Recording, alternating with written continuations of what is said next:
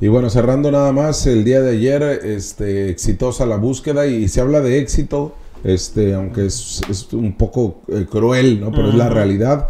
Eh, los mismos colectivos hablan de éxito cuando localizan restos humanos. Y es que la búsqueda para eso la realiza Ahí hubo dos búsquedas, una en vida y otra también buscando eh, cadáveres osamentas. Fueron eh, ayer en el Villa Zapata, hoy continúan también en la capital del estado, después de dormir este, en el palenque del FEX, en donde la comunidad se ha arrojado también en llevarles agua. Ayer a mediodía ya no tenían agua ¿no? Entonces eh, es importante señalar que también hubo acercamiento por parte de, de regidores, de regidoras de Mexicali, al igual que también de diputados y diputadas. Eh, la ausencia, pues ya saben, ¿no? De la este, general de gobierno, que eso ya, no, ya no es nuevo. Oye, bienestar también. Oye, bienestar, increíble. Bien pudo haber entregado ahí apoyos en esa zona, pero como estos, esas personas no van a votar por él, o sea... Sí, sí, totalmente de acuerdo. ¿eh? Hay algunos 8 mil. Si, si, hubieran juntado 8 mil, se les hubiera mandado un apoyo.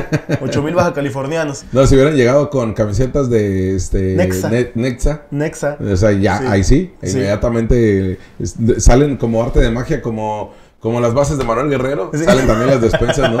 E, el, poder de las despensas, el, antihéroe, el, el el antihéroe, el antítesis, realmente. Pero sí, ahí bienestar está quedando de ver en ese sentido. Tendría que estar entregando apoyos, son personas que lo necesitan. No es un tema para promover tu, tu imagen ni nada, es simplemente para apoyar a personas que están haciendo el esfuerzo que tendría que estar haciendo el Estado. ¿eh? Localizaron una tibia un peroné en el Villa Zapata y también una especie de eh, la cadera, que es, eh, discúlpeme que no lo diga técnicamente, ¿no? Este, pero sí, la cadera es lo que terminaron por localizar, dos este, restos humanos, eh, ya estarán los laboratorios de genética trabajando.